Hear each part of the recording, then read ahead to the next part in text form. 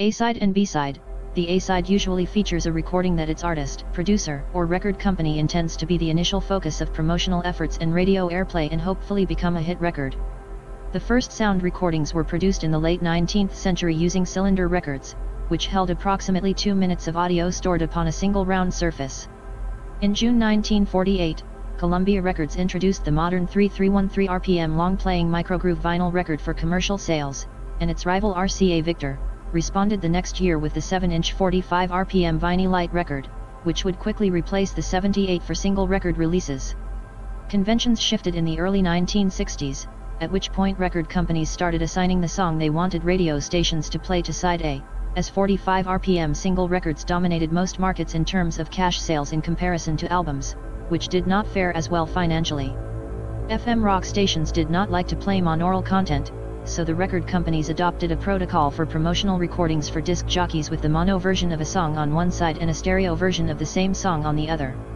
Record companies started to use singles as a means of promoting albums, they frequently placed album tracks that they wished to promote on side A and less accessible, non-album, instrumental songs on side B. In order to ensure that radio stations played the side that the record companies wanted to promote, they often marked one side of a record's label as a plug side. The distinction between the two sides became less meaningful after the introduction of cassettes and compact disc singles in the late 1980s when 45 RPM vinyl records began to decline. At first, cassette singles would often have one song on each side, matching the arrangement of vinyl records. A double A-side, AA side, or dual single is a single where both sides are designated the A-side, with no designated B-side, that is, both sides are prospective hit songs and neither side will be promoted over the other.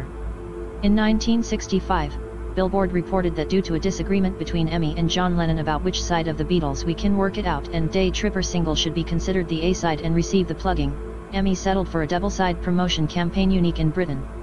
they continued to use the format for the release of the singles Eleanor Rigby and Yellow Submarine in 1966, followed by Strawberry Fields Forever slash Penny Lane in 1967 and Something slash Come Together in 1969. A double A-sided single is often confused with a single where both sides, the A and the B, became hits.